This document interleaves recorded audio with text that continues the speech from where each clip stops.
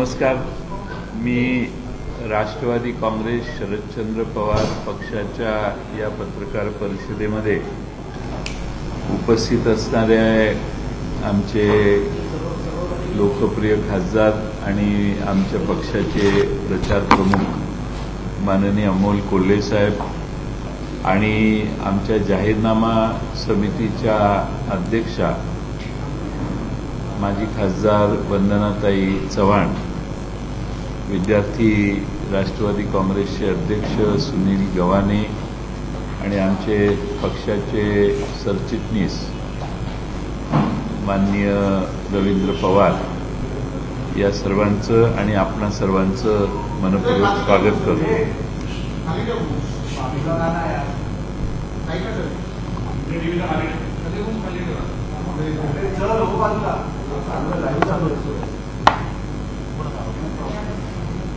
गेले दोन वर्षात भारतीय जनता पक्ष प्रणीत महाराष्ट्रात सरकार आल्यानंतर महाराष्ट्र सतत मागे पडत राहिलेला आहे. आपल्या सर्वांना माहिती आहे की महाराष्ट्रावर कर्जाचा बोजा सात लाख ऐंशी हजार कोटी रुपयाचा आहे. त्यात यावर्षी पुन्हा एक लाख दहा हजार कोटीचं वेगळं कर्ज काढायची तयारी सरकारची आहे. म्हणजे महाराष्ट्रातल्या माणसावर आतापर्यंत पासष्ट ते सत्तर हजार रुपये प्रतिमानसी कर्ज या सरकारने आता चढवून ठेवलेलं आहे. आणि सरकारची आर्थिक परिस्थिती अतिशय दयनीय झालेली आहे. सर्वसाधारणपणाने राजकोषीय तूट ही सकल उत्पन्नाच्या तीन टक्क्याच्या आत असायला पाहिजे. पण या सरकारने यावर्षी दोन अर्थसंकल्प आणि एक पुरवणी मागणी मांडली. आणि राजकीय तूट तीन टक्क्याच्या वर जाऊ नये ती आता चार पूर्णांक तीन टक्क्यावर पोचलेली आहे. म्हणजे महाराष्ट्रातली कोणतीही कमिटमेंट या सरकारला आता पूर्ण करता येणार नाही अशा परिस्थितीत हे राज्य नेण्याचं काम यांनी केलं आहे राज्याच्या विकासवाढीचा दर कमी झालेला आहे. आणि शेती जो अर्थव्यवस्थेचा आपला कणा आहे त्याच्यातही दोन पूर्णांक सहा टक्क्याची घसरण झालेली आहे. आणि त्याचाच अर्थ महाराष्ट्र सरकारचं शेतकऱ्यांच्या प्रश्नावर लक्ष नाही आहे पहिल्या दोन तीन क्रमांकावर असणारा आमचा महाराष्ट्र आता जवळपास अकराव्या नंबरवर गेलाय हे मी नाही. तर नियोजन मंडळाने आता हे आकडेवारीने सिद्ध केलेलं आहे. दोन हजार चोवीसला आपल्या राज्याला उत्तर प्रदेशपेक्षा फार पैसे कमी मिळाले. म्हणजे आपल्याला ज्यावेळी साठ हजार कोटी रुपये मिळाले त्यावेळी उत्तर प्रदेशला एक लाख त्र्याऐंशी हजार कोटी रुपयाचा निधी देण्यात आला. आता हे डबल इंजिनचं सरकार म्हणतात पण मला असं वाटतं की हे ट्रबल इंजिनचं सरकार आहे. आज या ठिकाणी महाराष्ट्र अग्रेसर होता एकेकाळी. तो यांच्या काळात अधिक मागं जाण्याची परिस्थिती यांच्या कर्तबगारीनं तयार झालेली आहे. गेल्या दोन वर्षात शेतकऱ्यांचे किती हाल झाले पीक विम्याचे पैसे मिळत नाहीत नुकसान भरपाई वेळेवर मिळत नाही. आज झालेल्या नुकसानाची भरपाई वर्षभराने सहा महिन्यांनी आठ महिन्याने दिली जाते. निर्यातीचं चुकीचं धोरण केंद्राने आखल्यामुळं महाराष्ट्रातल्या कांदा उत्पादक संत्रा उत्पादक केळी उत्पादक कपास उत्पादक या सगळ्याच शेतकऱ्यांचं अतोनात नुकसान हे भारतीय जनता पक्षाच्या केंद्रीय राजवटीनं केलं. योग्य हमीभाव नाही आहेत आणि दुसऱ्या बाजूला दुधाला देखील भाव नाही. दुधाला भाव देण्याच्या विषयी आमचे खासदार निलेश लंके यांनी नगरला एक मोठं आंदोलन केलं. त्यावेळी सरकारने वेगळी आश्वासनं त्यांना दिली. पण त्यावरही कोणताही उपाययोजना सरकारने केलेली नाही. आज महागाईमुळं शेतकऱ्यांचा खर्च वाढलेला आहे. आणि महागाईमुळं खर्च वाढल्यामुळं आज जी एमएसपी जाहीर करण्यात येते त्यात खर्च देखील शेतकऱ्यांचा निघत नाही. दोन हजार तेवीस चोवीसचे पीएम फसल विमा योजना मधील कव्हरेजमध्ये चार पूर्णांक सतरा टक्क्याने घट झालेली आहे. राज्यामध्ये जानेवारी ते मे या फक्त पाच महिन्यात महाराष्ट्रामध्ये एक हजार शहात्तर शेतकऱ्यांनी आत्महत्या केलेल्या आहेत हे विदारक सत्य आपल्या महाराष्ट्राला दिसतंय. आज तरुणांची परिस्थिती काय? आहे बेरोजगारी आणि उद्योगधंद्याची परिस्थिती काय? आहे बेरोजगारी आता अकरा टक्क्याच्या वर गेलेली आहे. महाराष्ट्रात सतरा प्रकल्प येणार होते. ते राज्याच्या बाहेर गेले. जाताना राज्याच्या प्रमुख नेत्यांनी ते प्रकल्प आपल्या राज्यात राहावेत याचा कोणताही प्रयत्न केला नाही. गुजरात राज्यात विशेषतः प्रकल्प गेले तर तर मुग गिळून गप्प बसणारी आमची महाराष्ट्राचे सध्याचे सत्ताधारी आहेत. आज महाराष्ट्र सरकारमध्ये अडीच लाख पदं रिकामी आहेत. त्याच्यात काही विशेष प्रमाण भरतीचं फार प्रयत्न होत नाहीत. कुठं वीस हजार बदले कुठं ऐंशी हजार बदले अशा घोषणा आहेत. पण प्रत्यक्ष अनुभव महाराष्ट्रातल्या तरुणांना येत नाही. युवकांची परीक्षेसाठी तयारी कर कर करतात कष्ट करतात गरीब घरातली मुलं प्रयत्न करतात. पेपर देतात आणि तोच पेपर फुटलेला असतो. आणि त्यामुळं पुन्हा पेपर घेण्याचे प्रकार अलीकडे वाढलेले आहेत. या सरकारच्या काळात पेपर फुटीचे घोटाळे प्रचंड मोठ्या प्रमाणात वाढले. आणि त्यामुळं महाराष्ट्रातला युवक हा अत्यंत तणावग्रस्त परिस्थितीत आहे. एकोणीस ते चोवीस या पाच वर्षामध्ये जवळपास साडे अकरा लाख विद्यार्थ्यांच्यावर याचा दुष्परिणाम झालेला आहे. नवीन एमआयडीस्या होत नाहीत. ज्या एमआयडीस्या मोकळ्या आहेत तिथं नवीन उद्योग यांना आणते आले नाहीत. प्रत्येक वेळी दावोसला जाऊन दीड लाख कोटीची इन्व्हेस्टमेंट आणली चार लाख कोटीची इन्व्हेस्टमेंट आणली अशा घोषणा आम्ही सगळ्यांनी ऐकल्या पण इन्व्हेस्टमेंट कुठं दिसत नाहीत. आणि दिसल्या तर त्यामध्ये जी गुंतवणूक रोजगार निर्माण होणार आहे तो रोजगार त्या प्रमाणात निर्माण होत नाही असा अनुभव आहे. आणि म्हणून महाराष्ट्रात आज जवळपास चाळीस पंचेचाळीस लाख युवक बेरोजगार आहेत आणि त्यांच्या बेरोजगारीला हाताला काम देण्यासाठी कोणतंही काम सरकार करत नाही. मधल्या काळात चारशे चोवीस नमो महारोजगार मेळावे आयोजित करण्यात आले. मग चारशे चोवीस महारोजगार योजनेमध्ये कोट्यावधी रुपये उधळले. एकेका इव्हेंटला एकेका रोजगार मिळायला पाच पाच सात सात कोटी रुपये यांनी खर्च केले. आणि रोजगार किती मिळाला? तर साठ. सरासरी या चारशे चोवीस नमो महारोजगार मेळाव्यामध्ये सरासरीने प्रत्येक मेळाव्यानंतर साठ पन्नास साठ सरासरी येते. कारण पंचवीस हजार लोकांना रोजगार टोटल मिळालेला आहे. त्यामुळे नवीन रोजगार निर्माण करण्याचा कोणता ठोस प्लॅन यांच्याकडे नाही. स्टार्टअप फंडिंग साठ टक्क्यानं खाली गेलेली आहे राज्यातली. आणि एफडीआय फंडिंग देखील एफडीआय इन्व्हेस्टमेंट देखील पंधरा टक्क्यांनी कमी झालेलं आहे. आपण नेहमी म्हणतो आम्ही महाराष्ट्रात एफडीआय एक नंबरला महाराष्ट्र आणलं परत परत सांगायचा प्रयत्न करतो पण वस्तुस्थिती अशी आहे की एफडीआय मधली गुंतवणूक देखील पंधरा टक्क्यानं कमी झालेली आहे. भ्रष्टाचारात तर बेसुमार वाढ झालेली आहे. आपण सगळेच महाराष्ट्रातल्या जनतेला लक्षात आलेलं आहे. महाराष्ट्रात एक नंबर महाराष्ट्राचा आता भ्रष्टाचारात देशात गेलेला आहे. देशात एक नंबर भ्रष्टाचारात महाराष्ट्र हे अग्रेसर राज्य यांनी पुढे नेलेलं आहे. हा परिणाम ह्या दोन वर्षातल्या कामकाजातनं यांनी करून दाखवलेला आहे. सहा वर्षात भ्रष्टाचाराच्या दोन तृतीयांश केसेसमध्ये काहीच पुढं प्रोग्रेस झाली नाही. आणि अधिकारी किंवा कर्मचारी यांनी भ्रष्टाचार केला तर त्याची चौकशी होणं देखील आता बंद झालेलं आहे. कारण सत्ताधारी आणि कर्मचारी अधिकारी यांचे हँड अँड ग्लोव्ज अशी परिस्थिती तयार झालेली आहे. हल्ली महाराष्ट्रात एक म्हण सुरू झालेली आहे. भ्रष्टाचार्यांचा एकच नारा तुरुंगापेक्षा भाजप बरा. ही आज परिस्थिती आहे आणि त्यामुळे जे कोणी आता खेडेकरांच्या बाबतीत ती एक मी व्हॉट्सअपवर बघितलं की आता त्यांनी भाजपमध्ये गेल्यावर त्यांना संरक्षण मिळेल.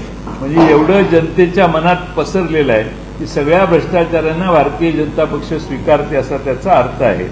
आणि म्हणून या ठिकाणी महाराष्ट्रात दोन हजार चौदा पासून आम्ही आकडेवारी काढली.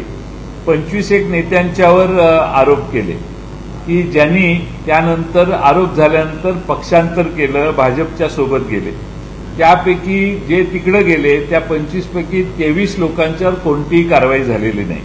उदाहरणच द्यायचं असेल तर अलीकडे लेटेस्ट उदाहरण म्हणजे खासदार रवींद्र वायकर ज्यांनी अर्ज भरत्याच्या काळात निवडणुकीच्या काळात सांगितलं होतं की माझ्यावर प्रचंड दबाव आला आणि मग मला तिकडे जावं लागलं. त्यामुळं लोकांना प्रश्न पडतो की या नेत्यांच्यावर आरोप भारतीय जनता पक्षाने केले. मग ह्या लोकांनी भ्रष्टाचार केला नाही का? मग हे भाजपमध्ये गेल्यावर भ्रष्टाचार कॅन्सल झाला का? याचं उत्तर खरं म्हणजे भाजपने दिलं पाहिजे. महाराष्ट्रात लोक निवडणुकीला सामोरं जाण्याच्या आधी या पंचवीस लोकांना त्यांनी आपल्या पक्षात घेतलं. त्यांच्यावरचे आरोप त्यांनी केले तेही त्यांनी सांगावेत आणि त्याच्यावर काय कारवाई झाली हेही सांगावं. महाराष्ट्रात आता मागच्या विधानसभेत आम्ही काही घोटाळे मांडण्याचा प्रयत्न केला. एक ढांबर डांबर घोटाळा आहे. एक रत्नागिरी जिल्ह्यात R D Samant construction company आहे. त्यामध्ये कोणाची कंपनी आहे हे आपल्याला मी सांगायला नको. एका वरिष्ठ मंत्र्यांचं कंपनी त्यांचे सगळे सोयरे त्या कंपनीत आहेत. त्या जिल्ह्यातले सगळे कामं सार्वजनिक बांधकाम एमआयडीसी नॅशनल हायवे जे काही काम निघेल ते या कंपनीला मिळतं.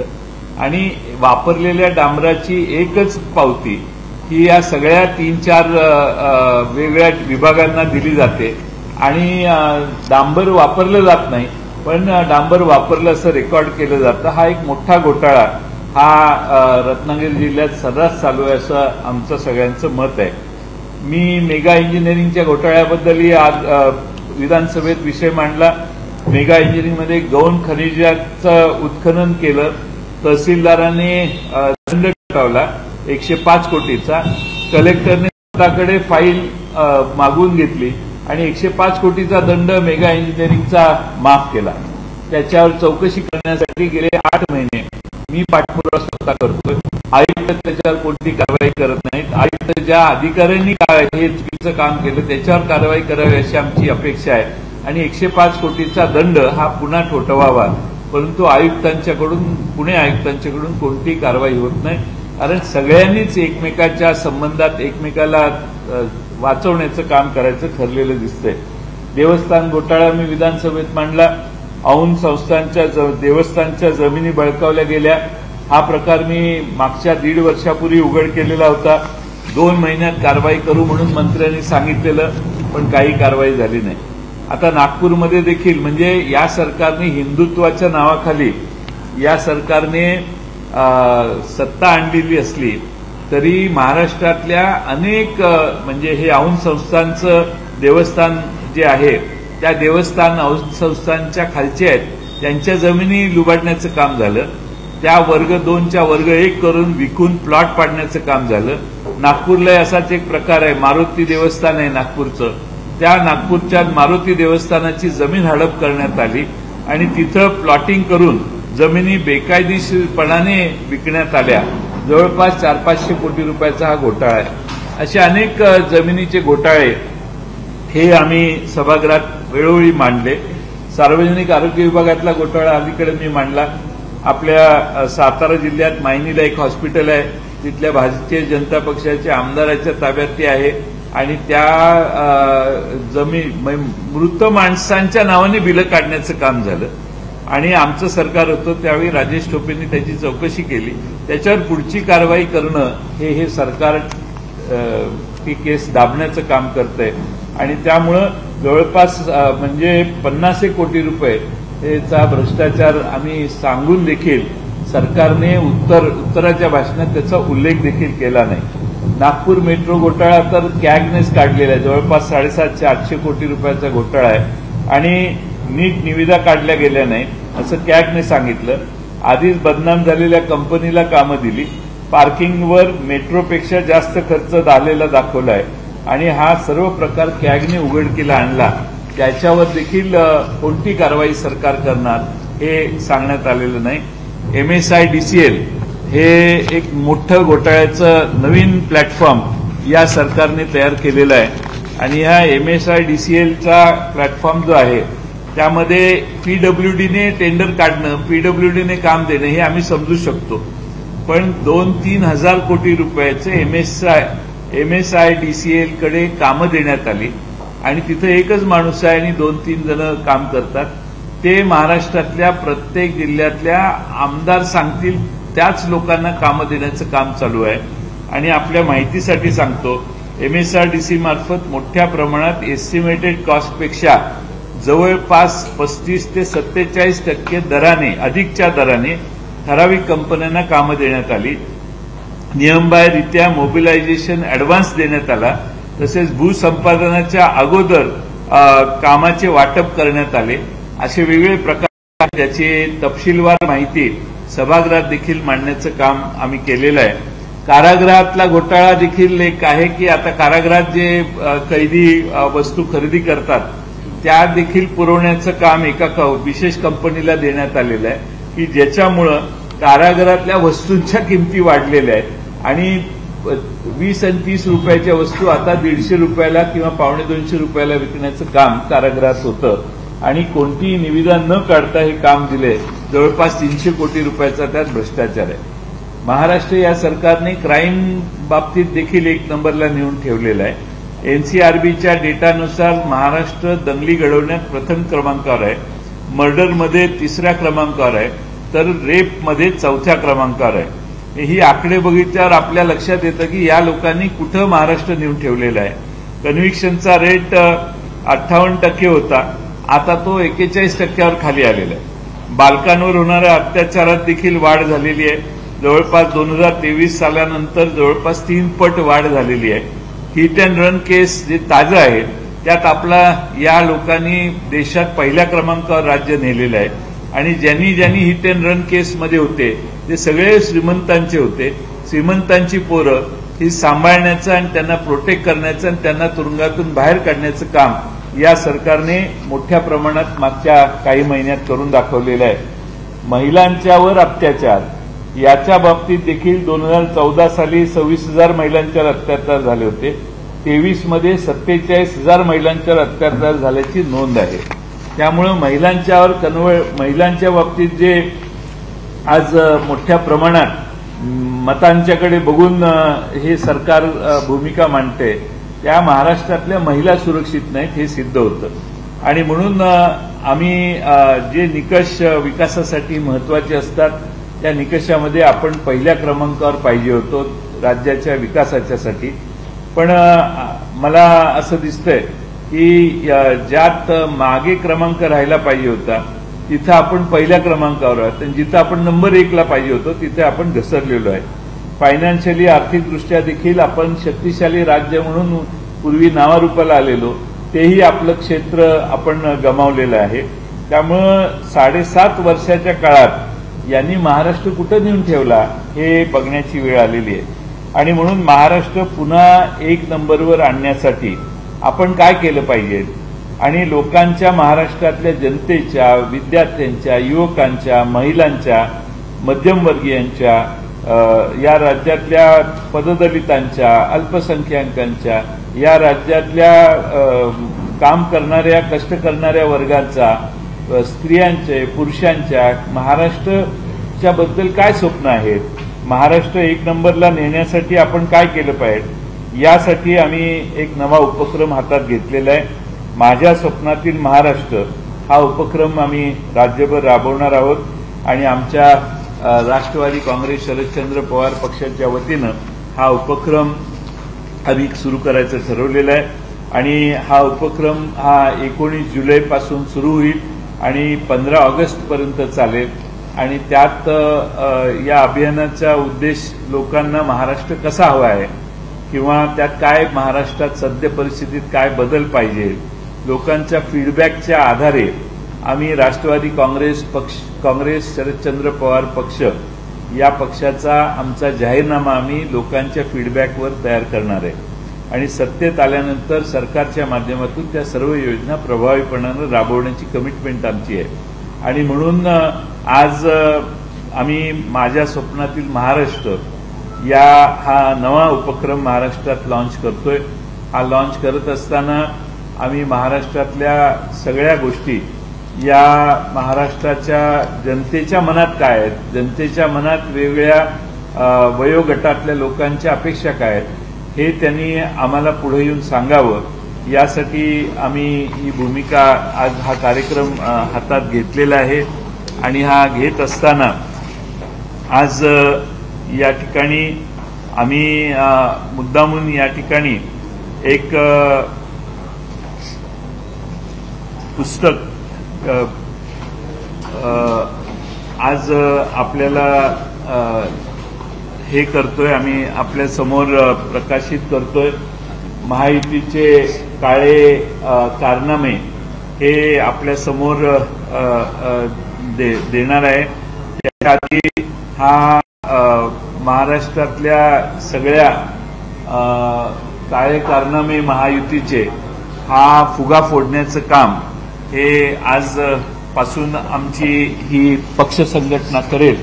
आणि त्यासाठी आपल्या सर्वांच्या साक्षीने हा फुगा काम खाली खाली खाली. आम्ही करतोय या ठिकाणी पुस्तकाचं प्रकाशन देखील महायुतीचे काळे कारनामे हे आम्ही आपल्या सर्वांच्या समोर सादर करतोय याच्यात या सरकारचे महायुतीचे काळे कारनामे हे. आम्ही आपल्या आपल्यालाही देणार आहोत.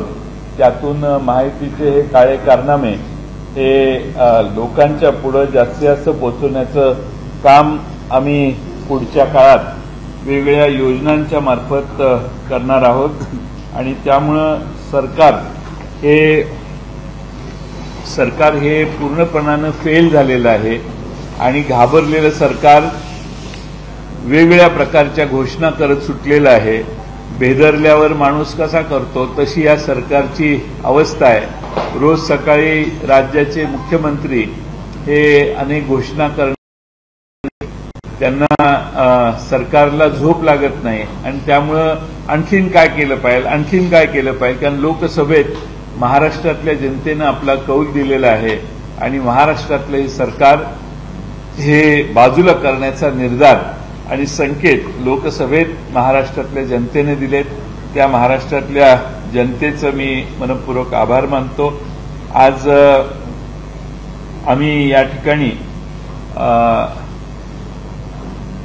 आणखीन मी आपल्याला विनंती करेन की या ठिकाणी अमोल कोल्हे साहेब हे आता आपले पुढचं मनोगत व्यक्त करतील.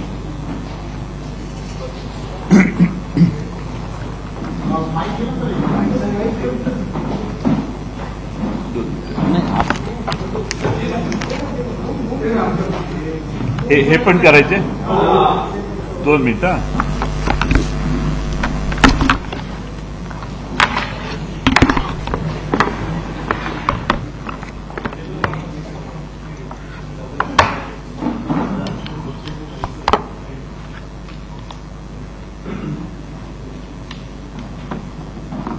जय शिवराय आपणा सगळ्यांचं पुन्हा एकदा स्वागत.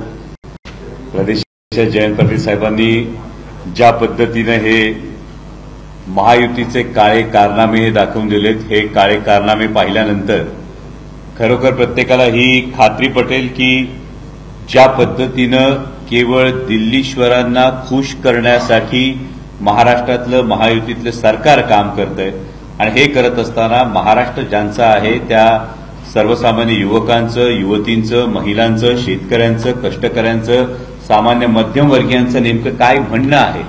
त्यांच्या स्वप्नातला हा महाराष्ट्र काय आहे? हे करण्यासाठी खरं तर आपण ही बघू शकता माझ्या स्वप्नातील महाराष्ट्र ही स्पर्धा ही आपण हे अभियान आपण करतो आहोत आणि यामध्ये महाराष्ट्रातल्या सर्वसामान्य जनतेला सहभागी होता येईल. केवळ दिल्लीतल्या आपल्या वरिष्ठांना खुश करण्यासाठी काही योजना राबवणं किंवा काही झालं तरी सत्ता हस्तगत करण्यासाठी योजना राबवणं या पलीकडे जाऊन महाराष्ट्रातल्या जनतेला काय वाटतं? त्यांच्या सरकारकडून काय अपेक्षा आहेत? आणि त्या जाहीरनाम्यात येण्याच्या दृष्टीनं ही खरं तर सुरुवातीला हे अभियान आणि ही स्पर्धा आपण करतो आहोत. आणि यामध्ये माझी महाराष्ट्रातल्या तमाम जनतेला ही विनंती आहे. कारण छत्रपती शिवाजी महाराजांचा महाराष्ट्र हा रयतेचं राज्य असलेलं स्वराज्य जे छत्रपती शिवाजी महाराजांनी उभं केलं तो महाराष्ट्र आहे. असेल माझा हरी तर देईल खाटल्यावरी ही गोष्ट नाकारणारा महाराष्ट्र आहे. म्हणजे दवाच्या पाण्यावर सुद्धा ज्वारीचं पीक घेणारा महाराष्ट्र जो आपण म्हणतो तो निधड्या छातीचा आणि मजबूत मनगटाचा महाराष्ट्र आणि या महाराष्ट्रातल्या जनतेच्या काय अपेक्षा आहेत हे जाणून घेण्यासाठी खरं तर माझ्या स्वप्नातील महाराष्ट्र ही स्पर्धा आहे. माझी या सर्व युवकांना युवतींना महाराष्ट्रातल्या तमाम जनतेला विनंती की आपण जास्तीत जास्त संख्येनं या स्पर्धेमध्ये सहभागी व्हा या अभियानामध्ये सहभागी व्हा. तुमच्या काय अपेक्षा तुमच्या स्वप्नातला महाराष्ट्र कसा असायला हवा हे महाराष्ट्रातल्या जनतेनं सांगायला हवं की मग आपल्या स्वप्नातला महाराष्ट्र हा इतक्या मोठ्या कर्जाच्या ओझाखाली दबलेला असायला हवा? आपल्या स्वप्नातला महाराष्ट्र हा इतक्या मोठ्या भ्रष्टाचाराच्या बजबजपुरीने हे जे जर पुस्तक वाचलं तर महाराष्ट्रातलं महायुतीचं सरकार कशा पद्धतीनं सर्वसामान्य करदात्यांच्या पैशांची उधळपट्टी करते कशा पद्धतीनं भ्रष्टाचाराची बजबजपुरी आहे या सगळ्या गोष्टी समोर होतील हा आपल्या स्वप्नातला महाराष्ट्र आहे का? याचं उत्तर महाराष्ट्राची जनता नक्कीच नाही देईल आणि त्यामुळं तुमच्या स्वप्नातला महाराष्ट्र हा कसा असायला हवा? त्या महाराष्ट्रासाठी जरूर या स्पर्धेमध्ये सहभागी व्हा. या स्पर्धेसाठी जे काही डिटेल्स आहेत ते आमचे विद्यार्थी राष्ट्रवादी विद्यार्थी काँग्रेसचे अध्यक्ष सुनीलजी गव्हाणे हे याचे संपूर्ण डिटेल्स हे आपल्यापर्यंत शेअर करतात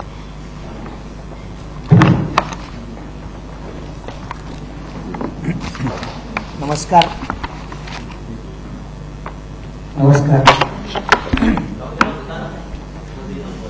एका बाजूला महाराष्ट्रामध्ये जे विद्यमान सरकार आहे ते कशा पद्धतीने सरकार या राज्यामध्ये चालवतंय आणि त्यांचे काय काळे कारनामे आहेत हे एका बाजूला जाहीर होत असतानाच दुसऱ्या बाजूला महाराष्ट्रातील जनतेच्या मनात आपल्या राज्याबद्दल आपल्या महाराष्ट्राबद्दल काय योजना आहे काय संकल्पना आहे हे कुठेतरी जाणून घेतलं पाहिजे. यासाठी आज माझ्या स्वप्नातील महाराष्ट्र हे अभियान राष्ट्रवादी काँग्रेस पक्ष शरदचंद्र पवार आम्ही सुरू करतोय. आणि हे अभियान दोन वेगवेगळ्या प्लॅटफॉर्मवर आम्ही घेऊन जातो एक तर आपल्याला सगळ्यांना समोर दिसत असेल या ठिकाणी एक मोबाईल क्रमांक आम्ही दिलेला आहे. सत्तर तीस बारा बारा बारा डबल झिरो बारा. या क्रमांकावर मिस कॉल केल्यानंतर आपल्याला एक गुगल फॉर्म येईल. आणि तो गुगल फॉर्म ती व्यक्ती भरून देऊ शकते. आणि त्या फॉर्ममध्ये स्वप्नातला महाराष्ट्र त्या व्यक्तीचा कसा असेल हे जाणून घेण्याचा प्रयत्न आम्ही त्या गुगल फॉर्मच्या माध्यमातून करतोय. त्याच बाजूला त्याचबरोबर दुसऱ्या बाजूला या राज्यामधील जी तरुण पिढी आहे आणि जो विद्यार्थी वर्ग विशेषतः करून आहे त्या विद्यार्थ्यांच्या मनामध्ये काय चाललंय त्यांना त्यांच्या भविष्यासाठी हा महाराष्ट्र कसा पाहिजे हे जाणून घेण्यासाठी आम्ही एक स्पर्धा जाहीर आज या ठिकाणी करतोय आणि या स्पर्धेच्या माध्यमातून विद्यार्थ्यांच्या स्वप्नातील महाराष्ट्र जाणून घेण्याचा आमचा प्रयत्न आहे. ह्या तीन प्रकारच्या स्पर्धा आम्ही त्यासाठी ठेवल्यात. एक रील स्पर्धा आहे आणि दुसरी जी आमची स्पर्धा आहे ती पोस्टर मेकिंग स्पर्धा आहे. या दोन्ही स्पर्धा आम्ही ऑनलाईन स्वरूपात घेतोय. आणि तिसरी स्पर्धा जी आहे ती वक्तृत्व स्पर्धा आहे जी जिल्हा स्तरावर होणार आहे. या तिन्ही स्तरा तिन्ही स्पर्धांच्या माध्यमातून विद्यार्थ्यांच्या स्वप्नातील महाराष्ट्र जाणून घेण्याचा प्रयत्न राष्ट्रवादी विद्यार्थी काँग्रेस येणाऱ्या काळात म्हणजे आजपासून पंधरा ऑगस्ट पर्यंत ही स्पर्धा संबंध राज्यामध्ये होईल. आणि या स्पर्धेच्या माध्यमातून विद्यार्थ्यांच्या स्वप्नातील महाराष्ट्र जाणून घेण्याचा आमचा प्रयत्न आहे. धन्यवाद.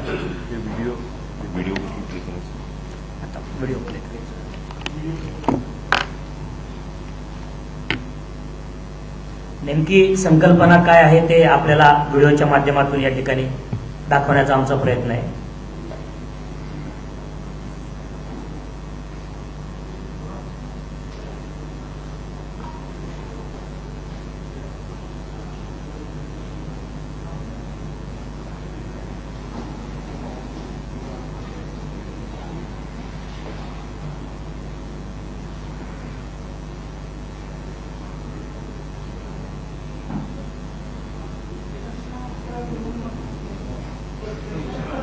तोपर्यंत प्रश्न आहे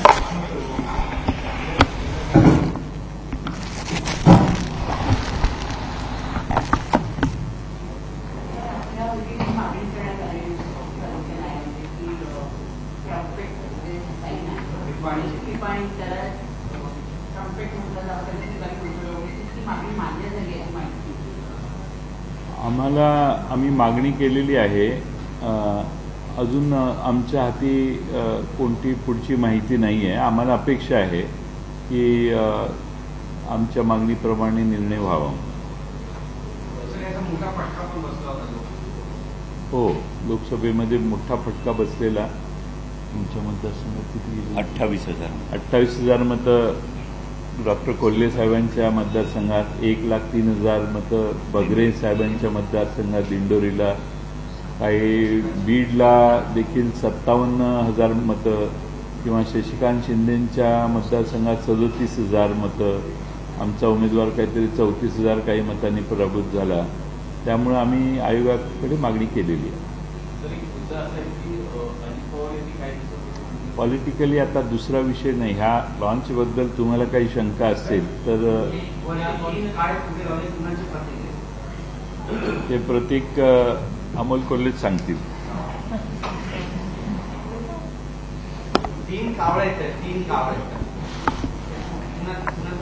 सध्या महाराष्ट्रातली परिस्थिती अशी झालेली आहे खरं तर महात्मा गांधीजींचं ते शिल्प होतं ना त्या पद्धतीनं महाराष्ट्राचं राजकारण चालू आहे की काही जण म्हणतात भला मत सुनो. ते होतं बुरा मत देखो बुरा मत सुनो बुरा मत बोलो. तशी आता परिस्थिती अशी झाली भला मत देखो भला मत सुनो और भला मत बोलो. अशी परिस्थिती आहे. आता भलामत बोलोमध्ये त्यामुळे वेगवेगळी स्टेटमेंट्स येत राहतात काही लोकांकडून. जी स्टेटमेंट्स येत राहतात त्याला काही नियंत्रण राहत नाही. दुसरी महत्वाची गोष्ट अशी येते भलामत सुनो. त्यामुळे अगदी ऑब्झर्व्हरमधून किंवा विवेकमधून सुद्धा टीका केली जाते. याचा अर्थ कोणीतरी म्हणतं भलामत सुनो जे सांगतात ते सांगू देत नाहीत. आणि आता प्रदेशाध्यक्ष जयंत पाटील साहेबांनी ज्या आर्थिक परिस्थितीची जी घोषणा केली त्या पद्धतीनं काही जण डोळ्यावर हात धरून बसलेले आहेत की राज्य आर्थिकदृष्ट्या किती घा- खाईत चाललेलं आहे. हे न बघता रोज एका घोषणेची अंमलबजावणी किंवा घोषणा ही केली जाते. ती आहे की भला मत देखो. आणि त्यामुळं हे जे तीन कावळे बसलेले आहेत या तीन प्रवृत्तींचं प्रतीक आहेत असं मला वाटतं. की ज्यामध्ये एक कावळा फक्त बोलतोय दुसरा कावळा काही बघण्याच्या विचारात नाही आणि तिसरा कावळा मात्र आपल्याला कधी संधी मिळेल याची वाट बघत बसलेला आहे. आणि त्यामुळे भला मत देखो भला मत सोचो महाराष्ट्र के बारे में भला मत बोलो या पद्धतीची ही परिस्थिती चालली आहे त्याचं हे प्रतीक. मला वाटतं आपण पत्रकारात मी तीन प्रवृत्तींसाठी जास्त महत्वाचं बोललो या तीन प्रवृत्ती महाराष्ट्राच्या प्रगतीसाठी घातक आहेत. महाराष्ट्र जर आर्थिकदृष्ट्या खाईद केलं तर निवडणुका जिंकता येतील पण आर्थिक नुकसान जर भरलं गेलं नाही आणि महाराष्ट्राचं जर आर्थिकदृष्ट्या कंबरडं मोडलं तर याचं दीर्घकालीन नुकसान महाराष्ट्रातल्या प्रत्येक जनतेतल्या प्रत्येक घटकाला भोगावं लागेल.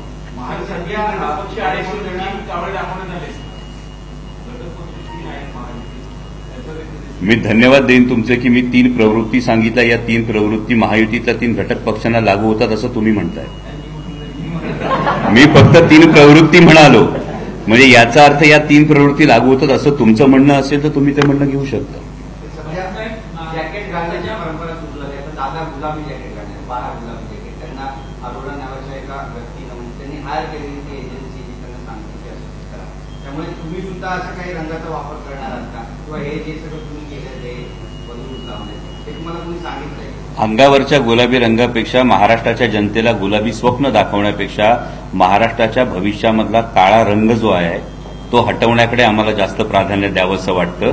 मला वाटतं त्यामुळे अंगावर जॅकेट घालण्यापेक्षा महाराष्ट्राच्या भविष्यावर जो काळा रंग लावला जातोय तो दूर व्हावा आणि सर आता या अ, काही गोष्टी सांगत होता त्याच्यामध्ये म्हणतात तुम्ही की विचारणामध्ये देश पहिल्या क्रमांकावर आले महाराष्ट्र पहिल्या क्रमांकावर आलेला आहे पुण्यामध्ये देखील फक्त पुन्हा एकदा सेकंड क्रमांक करून घडलंय आणि याच्यामध्ये आपल्या पक्षातले काही कार्यकर्ते आहेत त्यांना सुद्धा आरोप होतोय विरोध सत्ताधारी म्हणतायत की आता या विषयावर तुम्ही भूमिका म्हणणार आहे किंवा त्याचा दुसरा पुरुषेकर आपल्यापर्यंत दिसतो त्यावेळेस आपल्या कार्यकर्त्याचा विषय तो त्यावेळेस गप्पा आम्ही आमच्या कोणत्याही कार्यकर्त्याला मागं टाकण्याचं मागं घालण्याचा प्रयत्न करत नाही. आमचा कोणताही आमदार रात्रभर पोलीस स्टेशनमध्ये बसून हिट अँड रनमधल्या केसेसमधल्या माणसांना सोडवण्याचे प्रयत्न करत नाही. आमच्या कुठल्याही कार्यकर्त्याने रक्त बदलून नवीन रक्त रिप्लेस करण्याचा उद्योग देखील केलेला नाही. आणि पोलिसांनी हिट अँड रनमधल्या प्रत्येक लोकांना ठामपणाने त्यांच्यावर कारवाई केली पाहिजे. पण दुर्दैवाने सत्तारूढ पक्षाच्या जवळ श्रीमंत वर्ग फार जवळ आहे. श्रीमंत वर्गाचे चोचले पुरवण्यासाठी सत्तारूढ पक्ष काम करतोय. आणि म्हणून श्रीमंत वर्गाच्या पोरांच्या साठी पायगड्या घालून त्यांचे काही गुन्हे असतील तर ते दडवण्याचं आणि त्यांना वाचवण्याचं काम हे सरकार करतंय. हे आपल्या मागच्या हिट अँड रनच्या प्रत्येक केसमध्ये दिसलेलं आहे.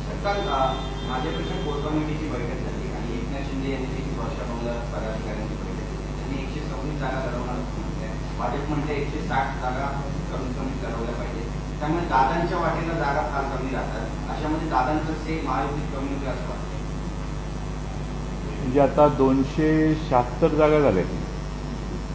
एकशे साठ अधिक शंभर म्हणजे दोनशे साठ आणि वर सव्वीस. म्हणजे सत्तर ऐंशी शहात्तर दोन जागा शिल्लक राहिलेल्या त्यामुळं माहीत नाही आता काय निर्णय होणार. पण दोघांची तयारी जोरात दिसते. तिसऱ्यांची तयारी दोन जागा लढायच्या आहेत का आणखीन किती त्याचा तुम्ही त्यांना खुलासा विचारा. पण आमचं आघाडी जी आहे महाविकास आघाडी त्यात आमचा ताळमेळ व्यवस्थित आहे आणि आम्ही सगळे सुसंवाद ठेवून या निवडणुका लढणार आहोत. कोण?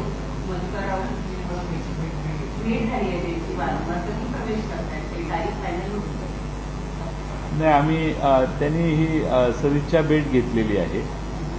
त्याविषयी काही विशेष राजकीय काही चर्चा त्यांची झालेली नाही आहे आणि त्यानंतर मलाही ते भेटले. त्यातही राजकीय काही चर्चा केली नाही. बरेच दिवसांनी मुंबईला आलेले म्हणून ते भेटले. आमचे जुने संबंध आहेत त्यांचे. राष्ट्रवादी काँग्रेस शरद पवार यांच्या पक्षाने जो फॉर्म्युला लोकसभेला वापरला म्हणजे कमी जागा लढायच्या जास्तीत जास्त जागा निवडून आणायच्या ते सूत्र एकनाथ शिंदेंनी त्यांच्या आमदारांना सांगितलं ते तुमचाच फॉर्म्युला पुढे कॅरी ऑन करतात काय की भारतीय जनता पक्ष कमी जागा देणार आहे. मग त्याचं समर्थन कसं करायचं? आपल्या आमदारांना आणि आपल्या समर्थकांना दोन्ही दुसरे पक्ष समजावून सांगतात की कमी जागा लढवू आणि जास्त जागा निवडून आणू जागा कमी घेतल्यावर त्या मुळातच संख्या कमी होणार आहे. आणि त्यामध्ये काय निवडून येणार आणि काय नाही हे महाराष्ट्राला माहिती आहे. त्यामुळं स्वतःचे इतर दोन पक्ष हे भारतीय जनता पक्षाच्या मनमानीला कसा उत्तर देत आहेत किती स्वाभिमानाने ठाम राहत आहेत एक शिवसेना फोडून गेलेले आहेत. त्यामुळे ते शिवसेनेच्या सर्व जागा लढतील अशी अपेक्षा आहे. आणि दुसरे आमचा पक्ष फोडून गेलेले आहे त्यामुळं आमचं जिथं महाराष्ट्रात प्रभाव आहे एकशे चौदा जागांवर त्या जागांवर ते हक्क सांगतील अशी अपेक्षा आहे त्यांच्या पक्षातल्या कार्यकर्त्यांना. पण किती माघार हे दोघं घेतात हे आता आकडे बघितल्यावरच सांगता येईल. शिवसेना उद्धव बाळासाहेब ठाकरे शिवसेना उद्धव बाळासाहेब ठाकरे आणि राष्ट्रवादी शरदचंद्र पवार यांचा जागांचा फॉर्म्युला ठरला आहे शंभर आणि पंच्याण्णव अशा जागा ते लढणार आहे किती तथ्य आहे या बातमीमध्ये किंवा या आणखी कोणतीही चर्चा झालेली नाही आणि याविषयी आम्ही अजून चर्चा सुरू केलेली नाही.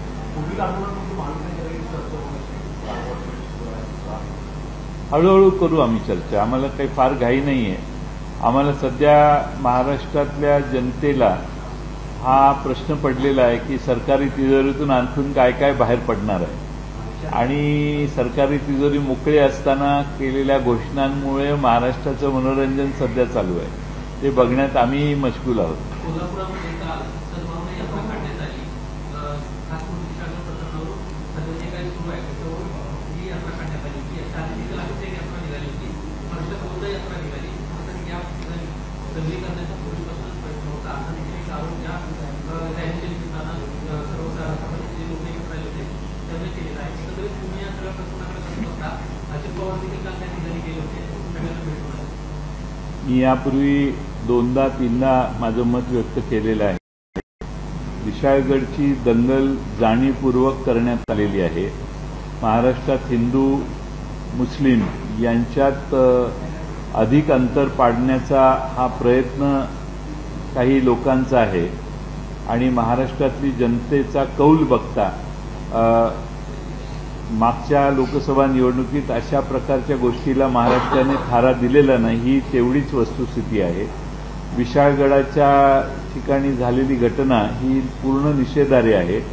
विशाळगडावर हिंदू आणि मुस्लिम दोघांची घरं आहेत आणि ऐन पावसाळ्यात त्या तिथलं अतिक्रमण अतिक्रमणाच्या विरोधीच आम्ही आहोत. पण अतिक्रमण प्रशासनाने पाऊस सुरू होण्याच्या आधी काढायचं असतं किंवा नंतर काढायचं असतं. पण त्यांनी ऐन पावसाळ्यात हिंदूंची घरं बाजूला काढायचं काम केलं आणि मुस्लिम समाजाची घरं बाजूला काढायचं काम केलं.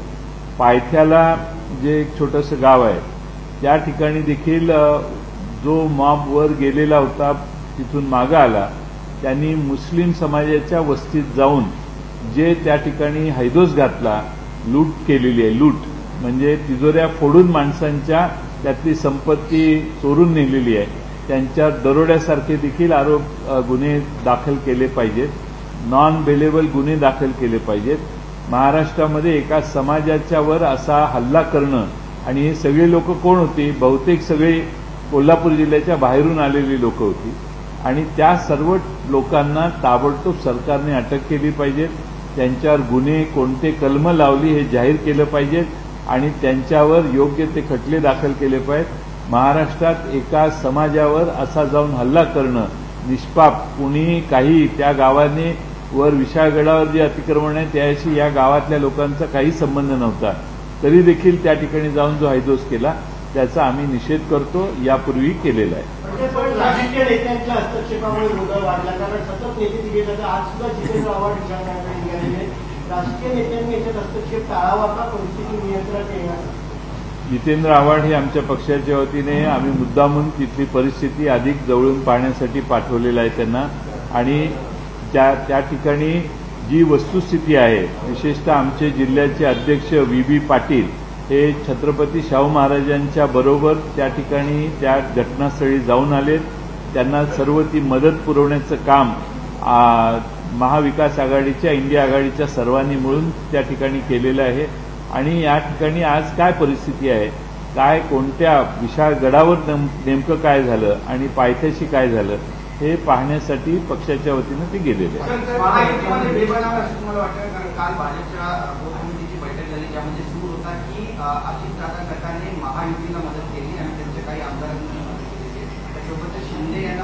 देण्याची महायुतीला मदत केली का? शिंदे यांना पंधरा जागा देण्याची काही गरज नव्हती लोकसभेला त्याचा परिणाम होईल विधानसभेला काहीतरी गडबड वाटते तुम्हाला? उशिरा का होईना भारतीय जनता पक्षाला वस्तुस्थिती कळली याचं आम्हाला समाधान आहे. गेल्या काही दिवसांमध्ये. विशिष्ट जातीवर बोलत आहेत विशिष्ट व्यक्तीवर बोलत आहेत राजकीय नेत्यांना मला मान्य आहे का? विशिष्ट व्यक्तीवर बोलणं विशिष्ट जातीवर बोलणं. असं आहे की मनोज जरांगे यांच्याशी सरकारने अनेक चर्चा केलेली आहे. जसं एकनाथ शिंदे मुख्यमंत्री महोदयांनी एक मनोज जरांगेंशी चर्चा केली तशी ओबीसीच्या साठी जे आंदोलन झालं त्यांच्याशी देवेंद्र फडणवीसांनी चर्चा केली. दोघांनी देखील दोघांना काही आश्वासनं दिली आहेत कमिटमेंट दिलेले आहेत. नेमक्या काय दिलेल्या आहेत हे जाहीरपणानं ते काही सांगत नाही. आणि त्यामुळं कोण या दोघांच्या किंवा व्यक्तीबद्दल पक्षाबद्दल किंवा एखादी भूमिका मांडत असतील तर नक्की वाद काय आहे हे आम्हाला माहीत नाही. की यांनी दिलेल्या कमिटमेंट पाळल्या जात नाहीत. म्हणून कोणी रागावून टोकाची भाषा करत असेल तर नक्की काय कमिटमेंट आहेत ह्या तपासल्या पाहिजेत. त्यामुळं आम्हाला विरोधी पक्ष म्हणून या संदर्भात सत्तारूढ पक्षाने सत्तेत बसलेल्या लोकांनी विरोधी किमान विरोधी पक्ष नेत्यांना तरी वरच्या आणि खालच्या म्हणजे विधान परिषद आणि विधानसभेतल्या विरोधी पक्ष नेत्यांना तरी किमान विश्वासात त्यावेळी घेणं आवश्यक होतं. असला कोणताच प्रकार न झाल्यामुळे आम्ही या सर्व प्रकाराबद्दल अनभिज्ञ आहोत आज साताऱ्यामध्ये साताऱ्यामध्ये महाराष्ट्र ज्या दालना ठेवणार त्याचं उद्घाटन दोन्ही उपमुख्यमंत्री आणि मुख्यमंत्री ती नक्की शिवकालीन आहे ती महाराजांनी वापरली होती. संभ्रमावस्था आहे. हा विषय पुढे रेटून देण्याचा प्रयत्न करतोय का सरकार? कायम ठेवू. याच्यावर योग्य उत्तर डॉक्टर अमोल कोल्हे साहेब देतील. त्यांचा अभ्यास मोठा आहे. यामध्ये इतिहास तज्ज्ञ इंद्रजित सावंतांनी सुद्धा स्पष्टीकरण दिलं होतं की ज्या म्युझियमनी ही वागणं आलीत शिवकालीन शस्त्रांविषयी प्रत्येकाच्या मनात आदर आहे. परंतु ज्या पद्धतीनं सरकारनं प्रमोट करण्याचा प्रयत्न केला महाराष्ट्राला फसवण्याचा हा एक हेतू त्यात दिसून आला की हीच वागणकं अफजल खान वधाच्या वेळी वापरली गेली होती. अशा पद्धतीचा एक नॅरेटिव्ह हे आधी सांगण्यात आलं. मात्र त्या म्युझियमनी स्वतः सांगितलं याविषयी म्युझियमला कोणतीही खात्री नाहीये. आणि महत्वाची गोष्ट ही येते की अशा इतिहासाला उजाळा देणं ही नक्कीच छत्रपती शिवाजी महाराजांचा इतिहास प्रत्येकाला प्रेरणादायी आहे पण त्याचबरोबर छत्रपती शिवाजी महाराजांच्या इतिहासातल्या आजच्या काळात असणाऱ्या रयतेचं राज्य या संकल्पनेला उजाळा देणं जास्त तितकंच गरजेचं आहे. शेतकऱ्यांच्या भाजीच्या देठाला हात लागू नये देऊ नका. या आज्ञापत्राला उजाळा देणं तितकंच जास्त गरजेचं आहे. परस्त्रीला माते समान मानण्याच्या आज्ञापत्राला उजाळा देणं हे जास्त गरजेचं आहे. त्यामुळे सरकारनं यामध्ये विधायक गोष्टींना उजाळा देणं हे जास्त गरजेचं. महाराजांविषयी कोणाच्याही मनात अनादर असण्याचा प्रश्नच उद्भवत नाही. प्रत्येकाच्या मनात आदरच आहे. परंतु वाघनखांच्या बाबतीत महाराष्ट्र सरकारनं जर अशा पद्धतीनं हीच वाघनखं अफजल खान वधाच्या वेळी वापरली होती असं सरकारनं नरेटिव्ह दिलं. पण जर म्युझियम म्हणत असेल याविषयी खात्री नाही तर सरकारनं त्याविषयी सुद्धा स्पष्टीकरण केलं पाहिजे. आणि दुसरं ही महाविका ही वाघनखं मुंबईवरून सातारला गेली. गुपचूप नेली. सातारला संग्रहालयात ठेवली ती मागच्या दाराने नेऊन ठेवली. म्हणजे वाघनखं छत्रपती शिवाजी महाराजांची आहेत तर मग ती वाजत गाजत आली पाहिजे. त्याच्या स्वागतासाठी स्वतः खुद्द उदयनराजे भोसले दारात उभे पाहिजे होते. आणि त्यांचं स्वागत करायला त्यांनी पाहिजे होतं वाघनखांचं पण तसं काही झालं नाही आणि ही वाघनखं भाड्याने आणलेली आहे. खरं म्हणजे यांनी ब्रिटिश सरकारशी बोलून ती कायमची आणली पाहिजे होती पण तसं काम करता या सरकारला आलेलं नाही. महाविकास आघाडीमध्ये दोन पक्षामध्ये फूट पडलेली त्यानंतर महाविकास आघाडी स्थापन झाली. आता काँग्रेसमध्ये सुद्धा काही आमदारांनी त्यांच्यावरती कारवाई करावी याची मागणी होते अजूनपर्यंत काँग्रेसकडून कारवाई करण्यात आलेली नाही मला माहीत नाही की नक्की कुणी मतं विरोधात दिली काँग्रेस पक्षाचं असं चर्चा मी वर्तमानपत्रात वाचली काही वरिष्ठ नेत्यांच्या जवळचेच कुणी आहेत अशी चर्चा आहे पण ते त्यांचा अंतर्गत प्रश्न आहे नाना पटोले हे त्या बाबतीत खंबीर आहेत आणि नाना पटोले मला खात्री आहे की त्या बाबतीत योग्य तो निर्णय घेतील फायनल लागतात भावी मुख्यमंत्रीचे परळीचेही फायनल लागतात धनंजय मुंडेंचा भावी मुख्यमंत्री म्हणून त्यांना राष्ट्रीय प्रवक्ता करण्यात आला त्याच्यात संबंध आहे असं वाटतं. धनंजय मुंडेंचं बॅनर काय लागलं. काय काही शक्य आहे. मुख्यमंत्री त्या खुर्च्या ज्या आहेत हे जे आपण लाडकी लाडकी चालू आहे ना ती लाडकी खुर्ची योजना आहे खरं म्हणजे. हे जे प्रत्येक ही लाडकी ही लाडकी लाडकी. लाडकी खुर्ची योजना आणि त्या लाडक्या खुर्चीसाठी माझी सरकारला विनंती आहे की एवढे जर भावी असतील तेवढ्या खुर्च्या सरकारने एक चार खुर्च्या तरी कराव्यात.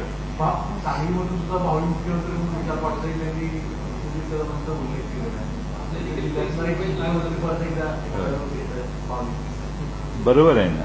ते तेच मी त्याच्यासाठी म्हणतोय जरा खुर्च्या वाढवायला लागतील किशोर वैद्य यांना एक मुद्दा दिलासा झालाय हायकोर्टानं नुकताच निर्णय दिलाय नामसूक काळात कालावधीत तुम्ही ही कारवाई थांबवा अशी नोटीस जारी दहा फेब्रुवारी दोन हजार एकचं परिपत्रक आहे. आमचं सरकार असताना त्यावेळी आम्ही काढलेलं होतं दोन हजार एकचं. की ज्यामध्ये पावसाळ्यामध्ये अतिक्रमणं करू नयेत. आणि असं सर्क्युलर आहे त्यावेळी. त्याच्यानंतर नवीन सर्क्युलर निघालेलं नाही. ते बघता मुख्यमंत्र्यांनीही असे आदेश देणं. मग मुख्यमंत्री जागृत असतील तर त्यांनी पावसाळ्याच्या आधी ते काढायला पाहिजे होते. आणि आता माणुसकीच्या नात्यानं थांबून पावसाळा संपल्यानंतर त्यांची पुनर्वसन कुठं करायचं हे ठरवावं? ती विशाळगडावर जी लोक आहेत ना ती बहुतांशी कुटुंब कोकणातनं येऊन तिथं स्थायिक झालेली आहे आणि ती हिंदू आहेत मुस्लिम आहेत सर्व घटक आहेत त्याचे. त्यामुळं हे जे बाहेर फेक नरेटिव्ह दिलं जात आहे ते चुकीचं आहे. विशाळगडावर अतिक्रमण नसलं पाहिजे यात दुमत नाही. नसायलाच पाहिजे. पण ते काढायचं असेल तर ते पावसाळा संपल्यावर काढावं आणि विशाळगड पूर्ण क्लिअर करून जे पूर्वी ऐतिहासिक स्वरूप होतं ते निर्माण करावं ही आमची मागणी आहे. पण आज ही वेळ नाही पावसाळ्यात कारण विशाळगडात प्रचंड पाऊस पडत असतो विशाळगडाच्या भोवती गडचिरोलीचा एक व्हिडिओ आहे ना तो गडचिरोलीचा एक रस्ता होता तो वाहून गेला आणि त्यामुळे एका गजर गेलेला अं, जे जेसीबी असते त्याची जी बस बास्केट असते त्याच्यामध्ये बसून तिला तो रस्ता पार करावा लागला कारण पूर्ण नदी झाली रस्त्याऐवजी नदी झाली असा एक व्हिडिओ आहे बरोबर आहे. आता असे अशा दुर्घटना वाढण्याचा संभव आहे. कारण मागच्या दीड दोन वर्षात जी कामं झालेली आहेत रस्त्यांची ती कामं अत्यंत तकलादू आहेत. तीस तीस चाळीस चाळीस टक्के कमिशन घेऊन ही कामं करण्यात आलेली आहेत. आणि त्यामुळं रस्त्यावर डांबर कमी खडी कमी मुरुम कमी अशी परिस्थिती महाराष्ट्रात अनेक ठिकाणी आहे. त्यामुळे या पावसाळ्यात अजून जुलै आणि ऑगस्ट या दोन महिन्यात पडणारा पाऊस आहे. त्यावेळी अनेक रस्त्यांच्या बाबतीत अशा घटना घडण्याची शक्यता आहे. आणि त्यामुळे या सगळ्या मागच्या दोन वर्षात झालेल्या कामांची चौकशी करावी लागेल. आमचं सरकार आल्यावर क्वालिटी टेस्टिंग प्रत्येक महाराष्ट्रातल्या रस्त्यांचं आम्हाला करावं लागेल. कारण यांनी प्रचंड घोटाळे केलेले आहेत आणि अतिशय सुमार दर्जाची कामं महाराष्ट्रात झालेली आहेत. त्याचा परिणाम गडचिरोलीतल्या नागरिकांना बसलाय. आणि बाळंत झालेल्या महिलेला घेऊन जाताना जेसीबीतून आपल्याला जे आपण सांगितलं ती परिस्थिती आहे.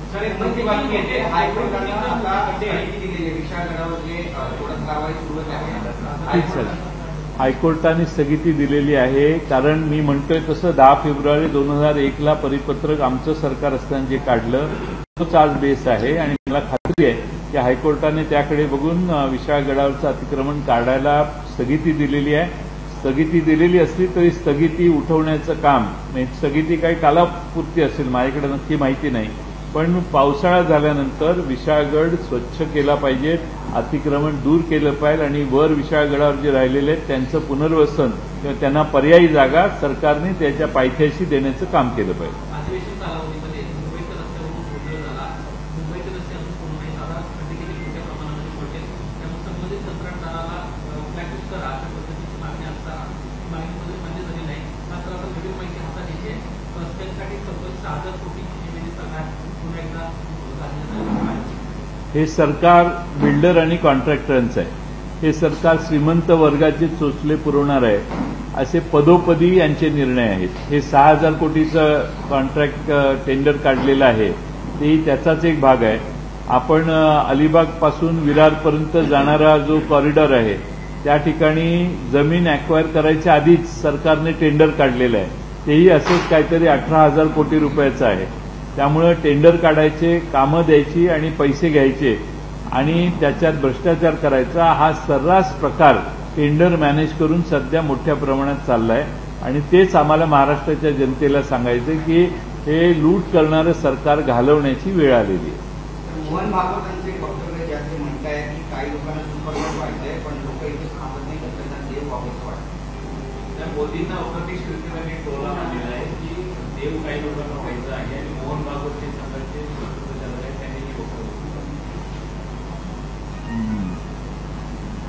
मला बरंच समाधान आहे की देशातल्या परिस्थितीबद्दल राष्ट्रीय स्वयंसेवक संघाच्याकडून जे जनहिते जनतेच्या हिताचं आहे असे काही मुद्दे अलीकडे मांडले जात आहेत महाराष्ट्राच्या राजकारणाबद्दलही विवेकमधून त्यांनी काही मुद्दे मांडलेले आहेत. तसं आज त्यांनी हे जे विधान केलेलं आहे ते विधान देशातल्या कुणाला लागू आहे हे ज्याचं त्याने ठरवायचं परंतु हा एक गुणात्मक बदल हा अ, त्यांच्यात झालेला राष्ट्रीय स्वयंसेवक संघात याचा मला आनंद है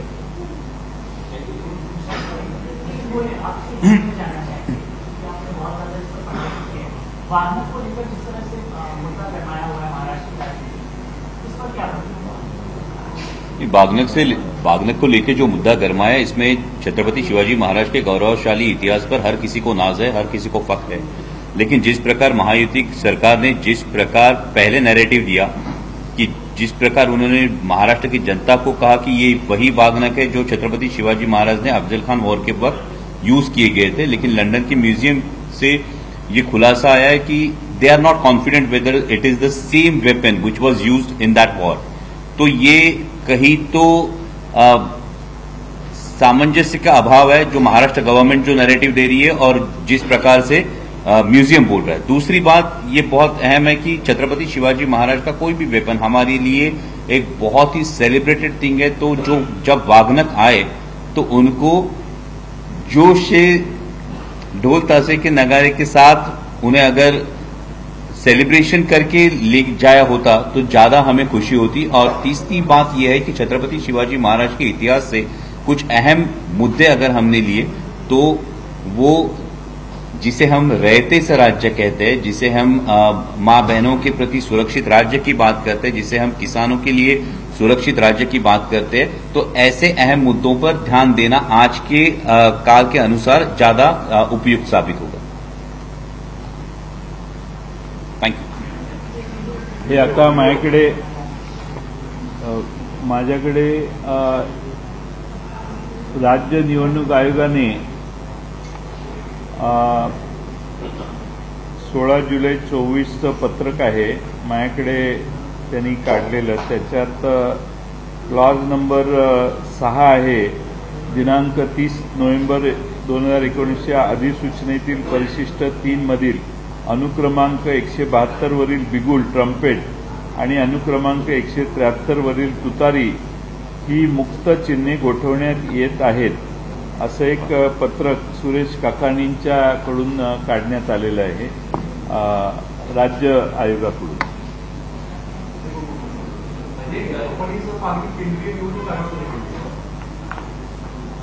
त्याचं अजून मला माहीत नाही. मी आमच्या लिगल टीमशी बोलतो वर काय झाले ते. एक व्हिडिओ आम्हाला आपल्याला दाखवायचा आहे आपण तो व्हिडिओ पाहावा अशी माझी विनंती आहे.